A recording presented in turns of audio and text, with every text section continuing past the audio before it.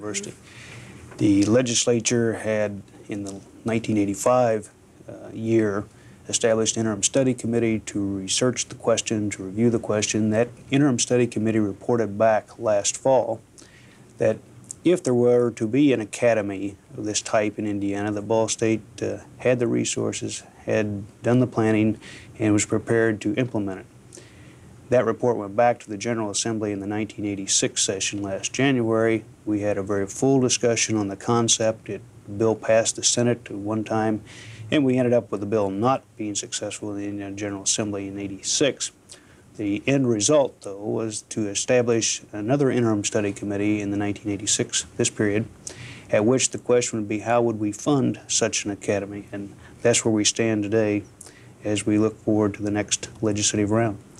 Who are the individuals involved in undertaking such a, a program? We've had a wide variety of persons involved in the proposal. Uh, Representative Steve Gabbett has been the author in the House on the legislation, along with Dave Cheatham on the Democrat side in the House.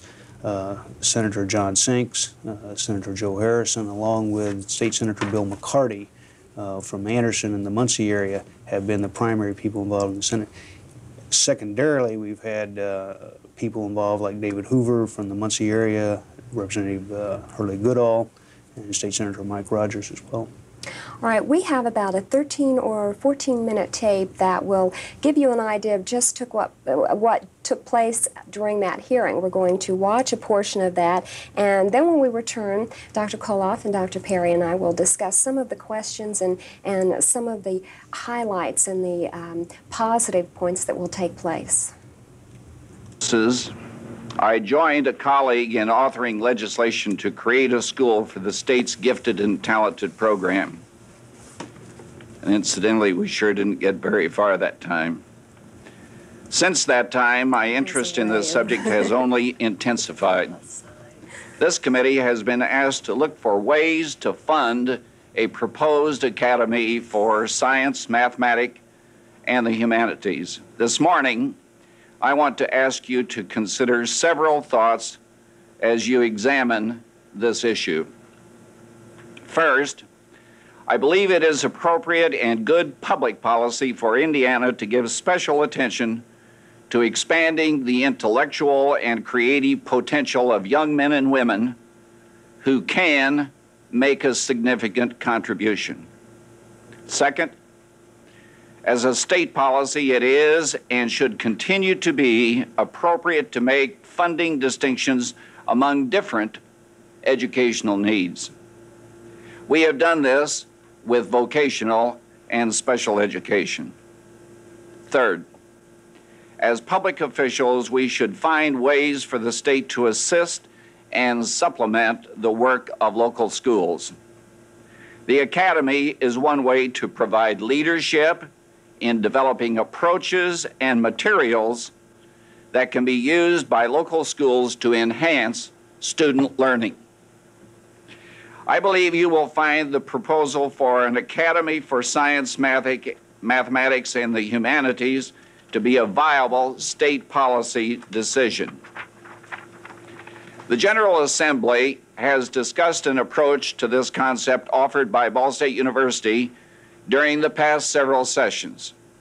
Ball State's proposal is modeled after the North Carolina's successful School for Science and Mathematics.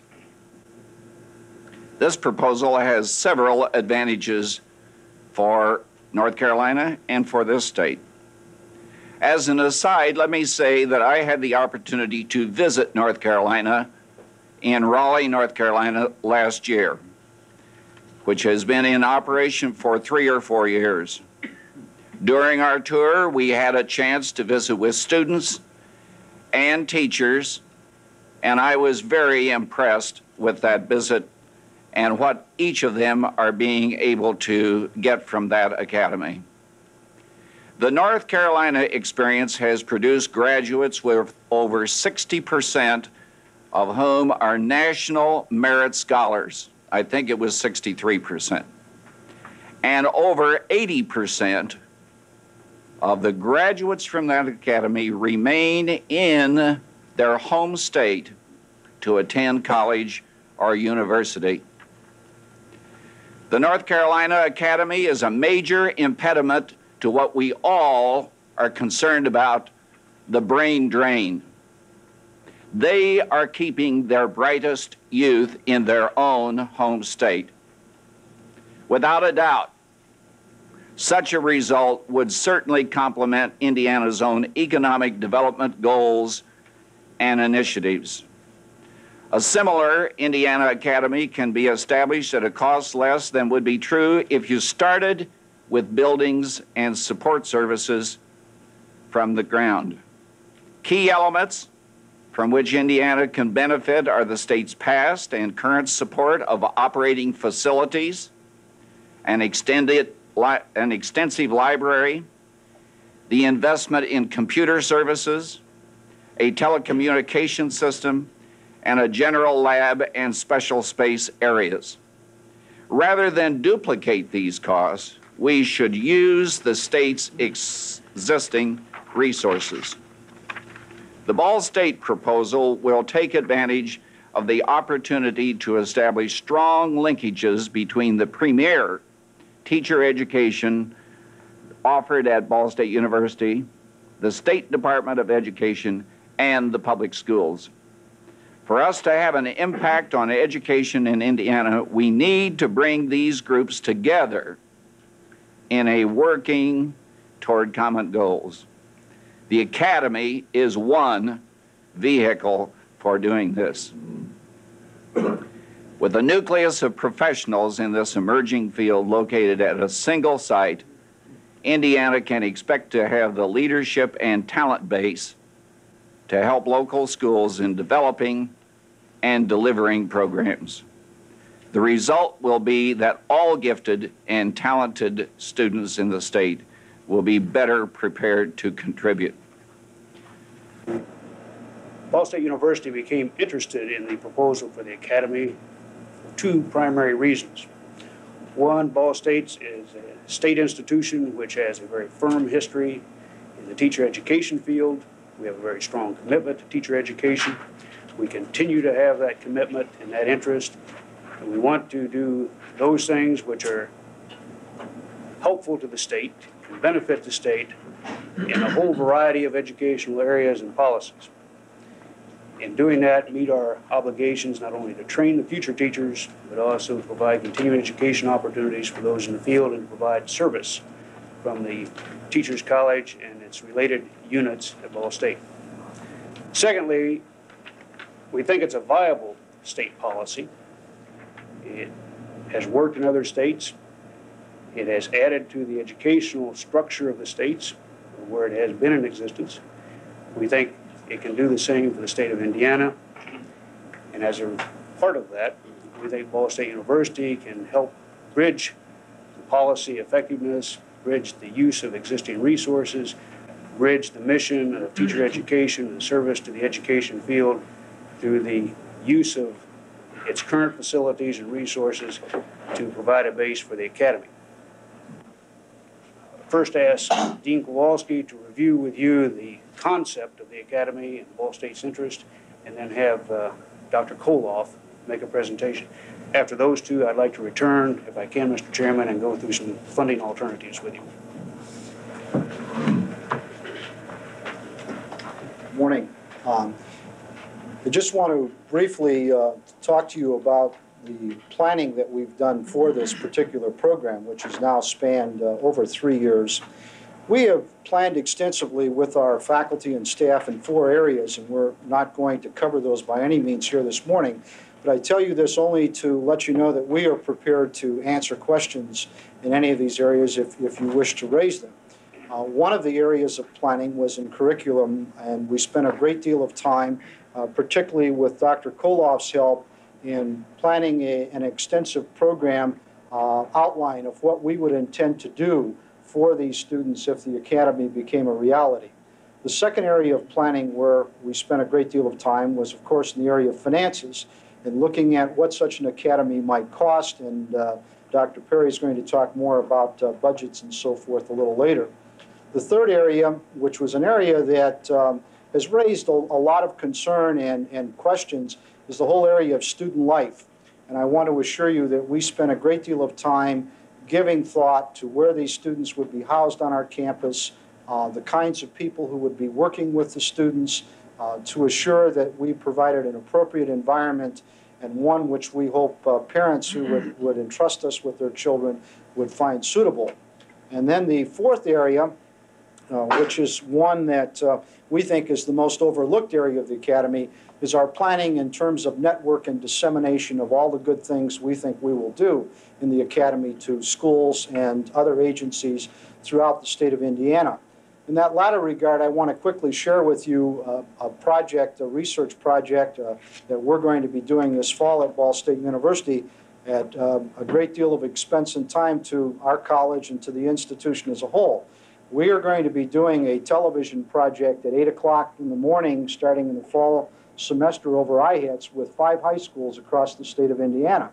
Our purpose in doing this is to, to be able to gather data to verify the fact that this kind of instruction can be meaningful, and it will be one-way video and two-way audio instruction with teachers in the classrooms in the various high schools and a skilled teacher on the Ball State campus.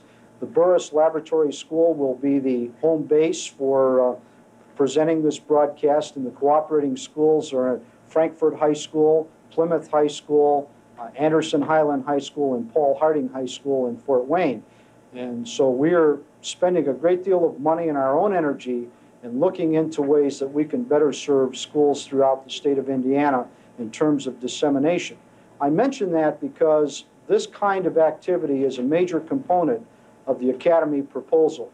We believe with the new Center for Information and Communication Sciences on the Ball State campus and the Teachers College and the only K-12 laboratory school uh, remaining in the state of Indiana, we are in an ideal position to provide that kind of service in an area where there is a critical need for improvement of services. And now I'd like to turn it over to Dr. Kolloff, who's going to talk a little bit about the need for services for gifted in, in Indiana and how we think we can address those needs. Year after year, our most talented students receive little in their secondary education that's appropriate to their needs. And the group which suffers most, of course, is the group with the highest abilities. The Academy incorporates three components which address this situation and offer to the secondary schools in Indiana opportunities to develop and expand their provisions for gifted students. First, the Telecommunications Project will allow local schools throughout the state to offer high-level courses using the interactive capabilities of the system. Schools which currently do not have enough students to comprise full classes in particularly advanced content areas will use these televised courses to instruct their high-ability students. Other schools may not have faculty available to teach advanced courses, so the Academy faculty will instruct their most gifted students through the television network. Small schools and rural schools will benefit considerably from the telecommunications component of the Academy. A second major component of the outreach program of the Academy is the Outstanding Educator Fellowship. Indiana has many excellent teachers throughout the state, teachers who have years of success in motivating and instructing high school students, and who also have exceptional mastery of their disciplines. These individuals have a great deal to offer the Academy students, and they have a great deal to learn from working with highly gifted students. Fellowships will be awarded to outstanding teachers, bringing them to the Academy for up to one year. There they will have opportunities to teach gifted students, develop and test curricula and instructional materials, materials, conduct research related to curriculum and instructional processes, and engage in advanced study. When these teachers return to their local schools, they will bring curricula, teaching materials, and techniques for working with the high, highly gifted students. Programs at the local level will benefit. Finally, Indiana schools and students will benefit from the curriculum development projects of the Academy. As courses are developed and taught to Academy students, the curricula will be written and disseminated to other schools. We know that few curriculum guides exist for appropriate courses for gifted learners at the secondary level. The Center for Gifted and Talented at Ball State has been developing, field testing and disseminating such guides for several years. These guides have been distributed to schools in Indiana and other states. The curricular developments of the Academy will continue to enhance secondary school programs throughout Indiana. Each of the components of the outreach program will contribute significantly to the upgrading of secondary programs for gifted learners in our state. None of the existing residential high schools for gifted students in other states has implemented or proposed outreach to the extent proposed by the Indiana Academy. We expect the impact and benefits of our program to affect high schools everywhere in the state. Thank you. Dr. Kolloff, how will the Academy improve Indiana schools? One of the proposals for the Academy is to offer instruction to those schools throughout the state through the telecommunications facilities. So we'll be able to offer courses that are taught to Academy students to students all over the state, uh, no matter how large or small their school is or the availability of their faculty. That's one of the, the ways we'll be helping education all over the state. And then bringing teachers from the schools in the state to the academy through the Outstanding Educator Fellowship Project. Um, we'll have a number of teachers selected uh, each year to come to the academy, work with students, try out their ideas, and then the uh, teachers will take their ideas back with them to the local schools. Are these fellowships, there will be some fellowships available? That's correct uh, for the teachers, and that'll pay a stipend and probably support room and board, and and the teachers then will work in the academy. Okay, now there are going to be so many questions about the selection process, and uh, will there only be Delaware County students um, going to the school? Is it all Indiana? Is it open? How is that selection process going to? This school will be for students who are residents of the state of Indiana, and we'll select uh, about uh, 150 juniors and 150 seniors from throughout the state. It'll be based on test scores. Uh, probably the SAT will be used, uh, application materials, letters of recommendation, interviews uh, during visits to campus. Um, it'll be very selective school. We're really looking for those kids who are so gifted that they need a very different kind of school program. Also, questions are going to come up it, it, since it will be an elite group, and there are those individuals who will assume you must be an upper income family in order to participate in this. That will not be a, a prerequisite. Not at all. Um, as we observed in North Carolina and as other states are attending to, the idea of including all segments of the population, of course, gifted students are found everywhere in the population, and we will be selecting a very balanced group of gifted students based on their educational need and not on any other particular criteria. So fees will be based on, on family incomes, or will there be scholarships available, or? Cathy, Dr. let Perry? me, let me respond to that. The, the school is elite only in that it's academically elite for, Mm-hmm. for talented kids. We find that uh, people who have resources of the upper middle income, uh, upper income classes probably already have the, those opportunities available for their children. Uh, we think that the academy is more likely to be a service to those in the middle income ranges and lower income ranges who would not have that kind of opportunity. The uh, academy proposal does suggest that we might place some burden on the parent and upon the family to pay the room and board cost. There has been some discussion with the state that that may not be an appropriate state investment. Even though the state will do the instructional side, room and board may well be the family responsibility. And we're looking for vehicles by which to supplement the family capacity for doing that through using private sector support or community support uh, for those kids who are identified as talented, can benefit from the institution, but who may not have those resources. What about those individuals who live in this area? Would they still be expected to reside within the school? I think our view of the school right now is that all kids who would be a part of the academy would reside because the program is a, is a full life program and it's not one that stops at 3 o'clock in the afternoon when the school closes down. What, uh, what sort of figures are we talking about for tuition? Have you gotten to It's that really stage? not a tuition charge, it would be a room and board charge. If we were going to open up the school this fall, we would have to charge for room and board of about $2,300 per student For the academic year? for the academic year.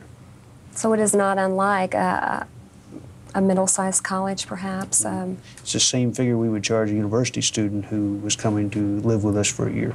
okay. Dr. Perry, what sort of impact would this have on our economy, the Indiana economy?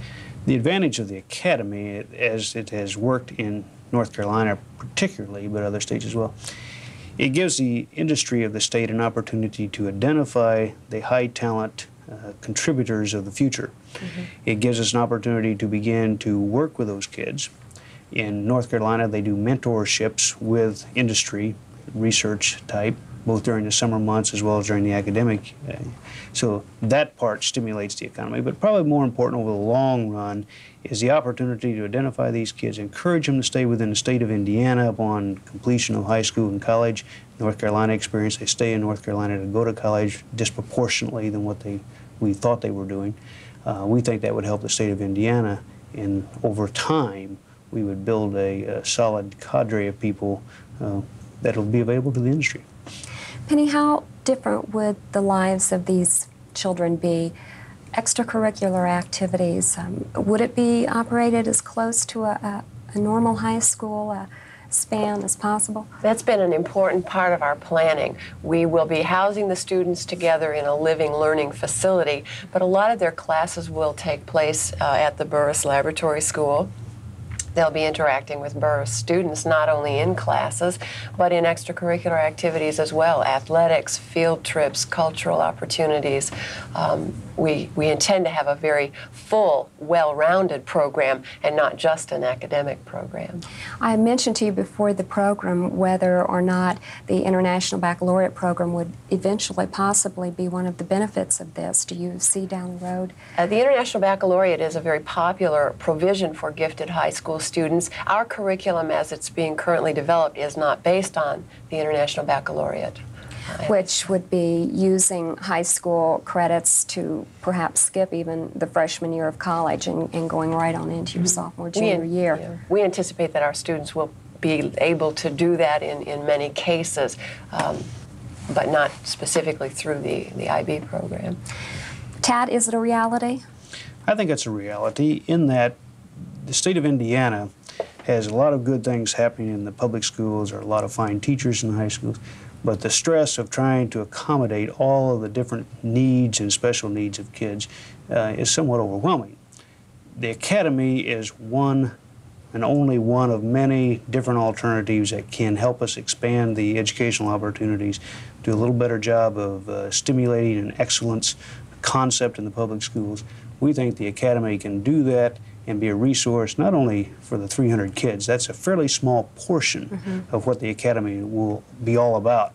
It gives all the school districts in the state an opportunity to, to use those resources. It gives particularly the smaller school districts that may not have large groups of kids who are talented to draw upon that resource to supplement those kids who want to stay at home in Seymour or, or wherever else they might be in the state, uh, but yet they do have the possibility to extend themselves beyond where they are.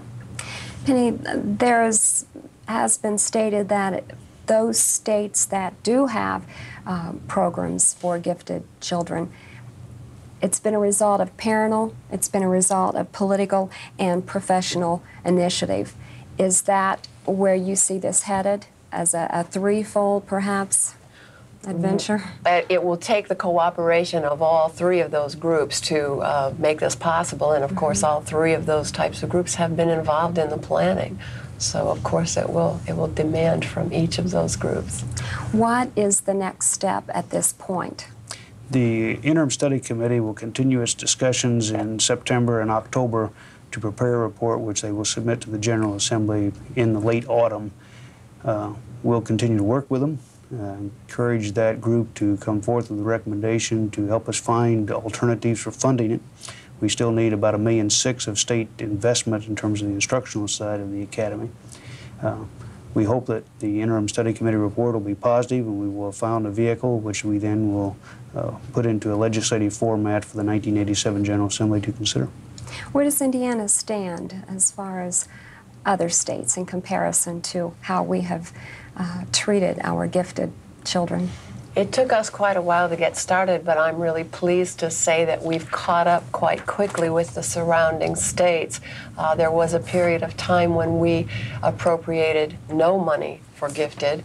Um, we began with little bits of money in the 79 uh, year. And then we, we have, have, thanks to the legislature, been able to increase our support of gifted programs dramatically over the past few years.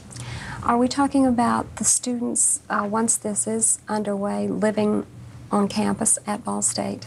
They would live in one of the adjacent dorm complexes to what is now the Burris Lab School. So we have a facility which is very close, the proximity is right, it's somewhat removed from the rest of the university's population, which does facilitate, I think, looking at a high school situation. And what is your projected date of, of actually? If the legislature uh, sees fit to endorse the concept and to begin the funding process, it'll take us about three years to go through the full planning cycle for the first year of operation, hire the faculty, the teachers, the administrative staff, recruit the first class of juniors, and then recruit the second class of juniors. It'll take us about 89, 90 academic school year before we would be in full operation. All right, so all those seventh and eighth graders right now can start hitting the books if you would like to go to this. That's right. Thanks, both of you, for, for informing us on this. Thank you.